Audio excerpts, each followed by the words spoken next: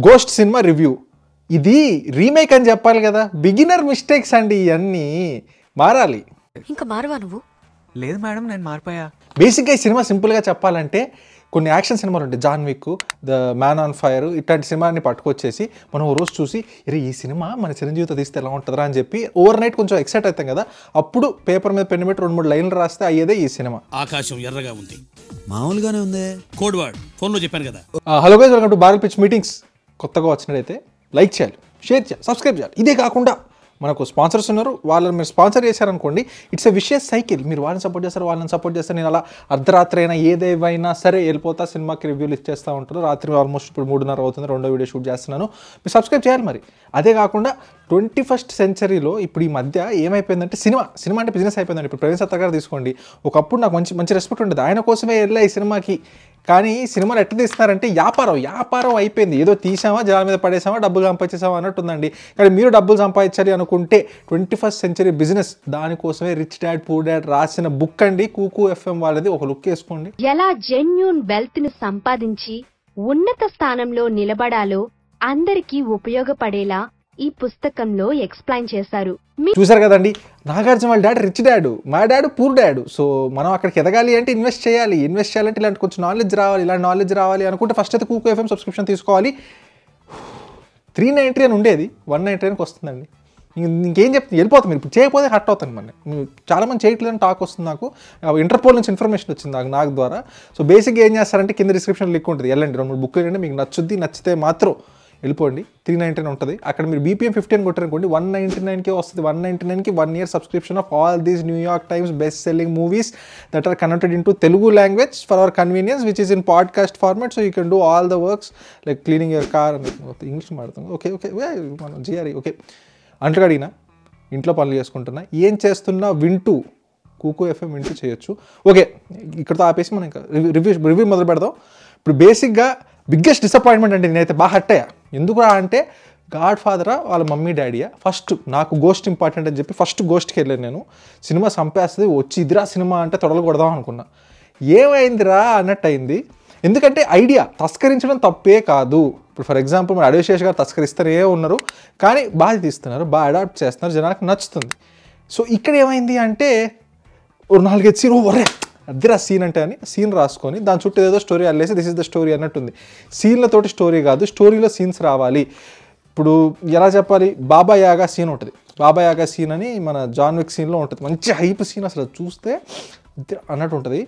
Same యాస్టీ scene ఇక్కడ దింపారయ్యా దింపడం అంటే దింపడం. మందు గ్లాస్ పడేసి గుద్దు ఎగ్జాక్ట్లీ సేమ్ చేశారు ఆ elevation scene John Wick elevation scene కానీ ఆ ఫీల్ రాలా. అది పెట్టాలని పెట్టినట్టు అనిపించింది. ఇదే కాకుండా గోస్ట్ గోస్ట్ అని చెప్పి ఒక ఫ్లాష్ బ్యాక్ ఉంటుంది. వై ఈస్ కాల్డ్ గోస్ట్ అది ఇది. అది ఇట్లా రక్తాలు ఇట్లా గూస్ బంప్స్ రావాలి అన్నట్టు ఉండాలి కానీ ఏమవుతుందిరా ఆ గ్రీన్ స్క్రీన్లో ఏం జరుగుతుందిరా? ఆ టైంపాస్కి ఏదో కార్టూన్ నెట్వర్క్ సమరైజ్ జాక్ తిప్పినట్టు తిప్పుతున్నాడు. ఆ కత్తి ఏంటో గన్ ఫైట్లలో ఓకే. సో అవన్నీ చూస్తుంటే సింపుల్గా చెప్పాలంటే స్టైల్ ఓవర్ సబ్స్టెన్స్ ఇంకా పచ్చిగా చెప్పాలంటే విషయం వీక్గా ఉన్నప్పుడే పబ్లిసిటీ వీక్గా ఉంటుంది అంటారు కదా? అలానే ఉంది. ఇంకో తస్కరించిన సినిమా అయితే మ్యాన్ ఆన్ ఫైర్ అండి. ఈ సినిమా మాత్రం వెళ్ళిపోండి. డెంజల్ వాషింగ్టన్ ఉంటుంది. ఫైర్ ఫైర్ ఫైర్ మీద ఉంటాడు. Man on fire Denzel Washington. ఆ సినిమా చూసి ఈ సినిమా చూసారంటే రే యాజ్ ఇట్ ఈస్ మావా? అంటారు మీరు. ఇంకా చెప్పాలంటే అంటే ఈ సినిమాలో మీకు ఇంకోటి చెప్తా. క్లైమాక్స్లో ఒక సీన్ ఉంటుంది. హాస్టేజ్ ఎదురుకుండా ఉన్నాడు చేతిలో మెషిన్ గన్ ఉంది. అందరిని కాల్చుకుంటూ వెళ్తే హాస్టేజ్ బుల్లెట్ తగలదా? అసలు ఏం అంటే నాకు ఎందుకు ఇవన్నీ చెప్తాను ప్రవీణ్ సత్తార్ గారు నాకు కొంచెం రెస్పెక్ట్ ఉంది కొంచెం లాజిక్ ఉంది. జనాల్ని ఫ్రూట్ గాళ్ళు అనుకోరు ఆడియన్స్కి రెస్పెక్ట్ ఇస్తారు ఆడియన్స్ బుర్రకు వాల్యూ ఇస్తారు. కానీ ఎందుకు ఈ సీన్లు తీసారు అర్థం కాదు. క్లైమాక్స్ అయితే ఫుల్ గ్రీన్ స్క్రీన్ అండి. అతడు టైప్ సెట్టింగ్ పెట్టి ఫుల్ గ్రీన్ స్క్రీన్ మీకు కనపడుతూ ఉంటుంది. లైటింగ్ ఎంత వరస్ట్. గ్రీన్ స్క్రీన్ చేసేటప్పుడు లైటింగ్ చాలా ఇంపార్టెంట్ బ్యాక్గ్రౌండ్కి మీ లైట్కి చాలా నాకు తెలిసి నా మీద లైట్ పడుతుంది కదా. బ్యాక్గ్రౌండ్ ఇప్పుడు నేను మంచులో ఉన్నా లేదా చీకట్లో ఉన్నా నా మీద ఫోకస్ లైట్ పెట్టి వెనకాల చీకటి చూపిస్తే అది తెలిసిపోద్ది. ఈ సినిమాలో కూడా అంతే. క్లైమాక్స్ మీకు చెప్తున్నా కదా ఫస్ట్ గన్ ఫైట్ అయింది త్రీ టూ అని. ఇంకా గన్లు అయిపోయినాయి బుల్లెట్లు అయిపోయినాయి కదా. ఇప్పుడు అందరు కత్తులు వేసుకొని వస్తారు. ఇంకా మన హీరో సెమరే షాట్ ఉందని చెప్పి ఒక సీన్లో అక్కడిక్కడ గ- గన్ పాడైంది గ- కత్తి ఉందంటే ఒక సీన్లో వాడితే అది ఒక రెగ్యులర్ వెపన్ లాగా అదే మెయిన్ వెపన్. అదే నాగార్జున గారు కత్తితో ఎక్కువ మంది చంపుతారు ఈ సినిమాలో. ఓకే ఇంకేమంటాం? ఇదే కాకుండా కొన్ని స్టైల్ ఓవర్ సబ్స్టెన్స్ అన్న కదా ఒక టార్చ్ లైట్ ఫైట్ ఉంటుంది. ఆ ఫైట్ కూడా అంతే ఆల్మోస్ట్ మొత్తం గ్రీన్ స్క్రీన్లో ఉంటుంది. నాకు ఎందుకో చాలా చీప్ అవుట్ అయిపోయారేమో కొన్ని ఎఫెక్ట్స్లో అనిపించింది. సినిమా స్టార్టింగ్లో అలా అలా చాలా బాగుంటుంది చాలా రిచ్గా తీసారు అనిపిస్తుంది. సినిమా ఎందుకు వచ్చేసరికి అమ్మ కూడా ప్రొడ్యూసర్ కానీ ఇంకా పైసలు ఇయ్యను అన్నారేమో మరి ఏవో తెలియదు కానీ దే తెలిసిపోతుంది అక్కడ ప్రొడక్షన్ క్వాలిటీ అలా అలా అలా పడిపోతూ ఉందని నాకైతే అసలు అక్కడ నుంచి ఇంకా టర్న్ ఆఫ్ అండి. ఆ స్క్రీన్ ప్లే కూడా ఏమవుతుందిరా అన్నట్టు అనిపిస్తుంది కొన్ని సీన్స్లో ఫస్ట్లో ఎంత బాగా వెళ్తూ ఉంటుంది మధ్యలో సడన్గా ఏమైంది హీరో మీద ఒక అటాక్ జరిగింది ఇంటర్వల్ దగ్గరలో. అక్కడ నుంచి ఎలా ఎస్కేప్ అయ్యారు? ఎక్కడికి వెళ్ళారు? సీన్ కట్ సీన్ కట్ సడన్గా హీరోయిన్ వస్తుంది. అది ఎక్కడి నుంచి సారీ తన ఎక్కడి నుంచి వచ్చారు? ఇవన్నీ ఏమో అండి అసలు సరిగ్గా వీవ్ చేయలే సరిగ్గా కూర్చొని రాయలేదేమో అనిపించింది నాకైతే.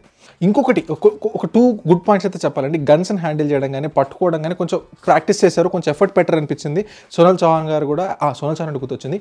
చాలా అప్రిషియేట్ చేయాలండి. చాలా బాగా చేశారు. చాలా కొత్తగా ఫైట్ సీన్స్ కానీ ఇవి అవి చాలా బాగున్నాయి. ప్లస్ ఇంకోటండి ఇది చాలా మంచి పాయింట్ ఈ సినిమా నేనైతే అబ్జర్వ్ చేశాను. మీరు కూడా చాలా సినిమాలు అబ్జర్వ్ చేసి మీరు చెప్పండి. హాలీవుడ్లో కూడా చాలా రేర్గా కనిపించే గుడ్ పాయింట్ అండి. ఇప్పుడు బేసిక్గా మనం చాలా సినిమాలో చూస్తాం. అమ్మాయి ఏజెంట్లు ఉంటారు లేదా లేడీ ఫైటర్లు ఉంటారు. ఓ ఇట్లా టచ్ చేస్తే ఇప్పుడు మన షాకిని దాకిన సినిమాలు కూడా టచ్ చేస్తే ఎగిరెగిరి పడుతున్నారంట విలన్స్ ఆ సినిమా నేను చూడలేదు జస్ట్ రివ్యూస్ ఉన్నాను అలా ఏ ఇంగ్లీష్ సినిమాలు తీసుకోండి ఏజెంట్ సినిమా అంటే చాలు. ఈ స్పై సినిమా అంటే కొడితే ఎగిరి గాల్లో పడతారు విలన్స్ అందరూ. ఒక్కొక్కటి ఇంత బల్గి ఉంటారు అబ్బాయిలు. రియాలిటీలో అలా అవ్వదు. ఎంత ట్రైన్డ్ అమ్మాయి అయినా ఒక మిడ్ బల్క్ సైజ్డ్ మేల్ ఉంటే ఇద్దరికి ఫైట్ జరిగితే అమ్మాయి గట్టిగా దెబ్బలు తింటుంది. మేబీ తనకి ఆ స్కిల్ ఉండి మార్షల్ ఆర్ట్స్ లేకపోతే టైకాండోనో అలా జుజిత్సునో ఇలా ఏదో బాగా తెలిసి బాగా తోపు అయితే గెలుస్తుంది అల్టిమేట్లీ కానీ తను కూడా గట్టిగా తన్నులు తింటుంది. Because men have more muscle men Barrel biryani అయిపోతుంది ఇప్పుడు. బేసిక్గా చెప్పాలనుకుంటే ఏంటంటే ఫైట్ చాలా రియలిస్టిక్గా చూపించాలి. ఒక అమ్మాయి అబ్బాయికి ఫైట్ ఉంటే. మన విజయశాంతి సినిమాలో ఇట్ట కొడితే ఒక విజయశాంతి ఇప్పుడు తోపు కాబట్టి అట్లా కాకుండా ఈ సినిమాలో ఫైట్ సీన్ ఉంటుంది. చాలా న్యాచురల్గా చూపించారు. ఒక అమ్మాయి ఒక అబ్బాయి కొట్టుకుంటే ఎంత కష్టంగా గెలుస్తుందో అనేది బాగా చూపించారు. నాకు ఆ సీన్ బాగా నచ్చింది. నాకు తెలిసి సాల్ట్ అని ఒక సినిమా ఉంటుంది. ఆ ఒక్క సినిమాలో తప్ప హాలీవుడ్లో కూడా అంతేనండి. ఏజెంట్ అంటే ఎగిరెగిరి కొడతారు ఏజెంట్స్ సో అదొకటైతే అప్రిషియేట్ చేయాలి. ఇంకొకటండి ఈ సినిమాలు ఏంటంటే ట్విస్టులు లేకపోతే ఈ సినిమా ఏముంది చెప్పండి? ఇప్పుడు బేసిక్ ఇలాంటి సినిమాలు ఏంటంటే ఇప్పుడు మ్యాన్ ఆన్ ఫైర్ సినిమా ఉంది అందులో ఒక ట్విస్ట్ ఉంటుంది. ఎవరు చేశాడరా ఇదంతా అనేది ఒక పెద్ద ట్విస్ట్ బాగా చూపిస్తారు. ఇక్కడ ఏం లేదండి మీకు సీన్ ఫస్ట్ నుంచే తెలుసు. ఏం జరుగుతుంది? ఒక విలన్ ఉన్నాడు వాడి కింద ఇంకోటి ఉన్నాడు అట్లా నీట్గా తెలుసు అక్కడ కొత్తగా రివీల్ అయింది ఏం లేదు. అక్కడ పే ఆఫ్ ఏం లేదు. ఏం జరుగుతుందిరా అన్నట్టు ఉంటుంది. మళ్ళీ ఇంకొకటి అండి ఇదైతే నాకు ఇంకా బీప్ పెంచింది. హీరోకి ఒక మోటివేషన్ రివెంజ్ ఉంటుంది.